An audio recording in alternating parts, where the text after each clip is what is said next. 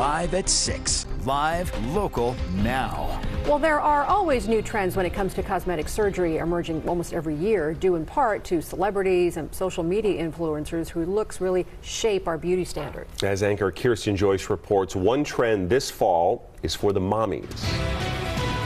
I wanted to feel more confident about myself. Stephanie Escobar Espinoza, a 30 year old mother of three young girls, decided to make some changes to her appearance to boost her self confidence. I wanted to, to feel better. She waited until her girls were back in school and set up a consultation and several procedures with Mia Aesthetics in Las Vegas. Her surgeon, Dr. Dana Toll. Children go back to school.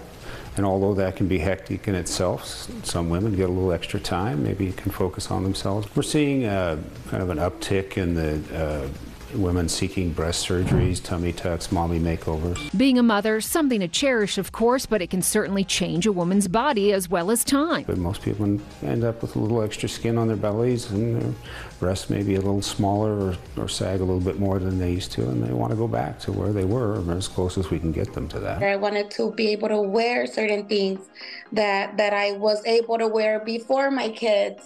Um, so that is why I ended up getting my mommy makeover. The most recent statistics from the American Society of Plastic Surgeons shows for 2022, Americans had one and a half million plastic surgery procedures. The top five listed here liposuction, breast augmentation, tummy tucks, breast lifts, and rounding out the top five, eyelid surgery. And while it may not be in the top five, the Brazilian butt lift gained a massive boom in the late 2010s. Why is that so popular? Uh, I've often wondered that. Many pointing to the Kardashians as the reason they went under the knife for BBL. But some celebrities have been outspoken, regretting their decision on that particular plastic surgery. In an Instagram Live, Cardi B opened up about her experience after removing her butt implants, cautioning her followers against ever getting that procedure done.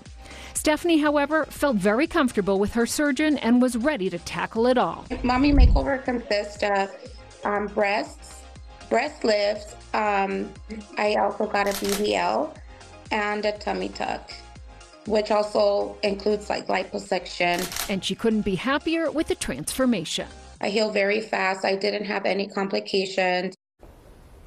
Now keep in mind, every person is different, so the cost of the same procedure can really vary greatly from one person to the next. The location of your surgery and your experience of your doctor will also impact the price.